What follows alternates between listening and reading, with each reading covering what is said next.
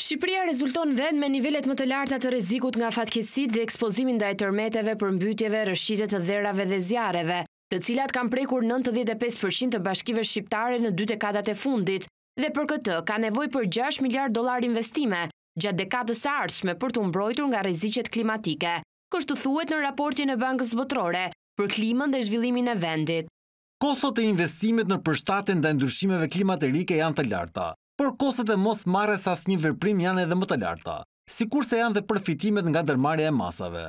Shqipëria do duhet të investojë gjashtë miliardë dollarë në dhjetëvjeçarin e ardhshëm për të mbrojtur njerëzit dhe pronën nga ndikimet gjithnjë e më të dëmshme të ndryshimeve klimaterike.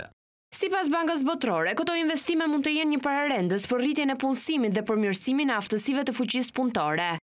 Rritja e qëndrueshmërisë klimaterike përmes një qasjeje të përbashkët, që bashkon sektorët e bujqësisë dhe turizmit, mund të zhbllokojë mundësinë ekonomike dhe të mbështesë punësimin. Ndërsa dy sektorë përbëjnë dyzet për qind të PBB-së dhe pesëdhjetë e gjashtë pikë katër për qind të fuqisë punëtore të Shqipërisë, një qasje inovative ndaj këtyre dy sektorëve do të ketë ndikim të drejtpërdrejtë në numrin e të punësuarve dhe zhvillimit ekonomik. Banka Botërore thotë në raport se nëse nuk ndërmerren veprime, dëmet e lidhura me klimën, mund t'i kushtojnë vendin shtatë për qind të prodhimit të brendshëm bruto të tij.